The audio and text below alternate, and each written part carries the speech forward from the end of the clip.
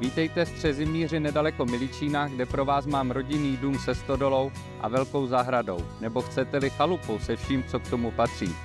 Nabízená nemovitost je ideální volbou pro ty, kteří hledají klid venkova, ať už pro trvalé bydlení nebo rekreaci.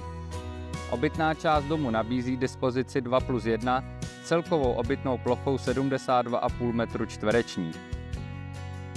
Najdete zde předsíň, prostorný obývací pokoj, ložnici, kuchyni s jídelnou, koupelnu a samostatné WC. Vytápění v každé místnosti zajišťují krbová kamna. U půdních prostor nad dobem by stálo za to zvážit ve stavbu dalšího obytného patra. K domu náleží stodola o celkové užitné ploše 114 metrů čtvereční. Najdete zde chlév, volný prostor stodoly, podzemní sklípek a směrem do zahrady skladový prostor.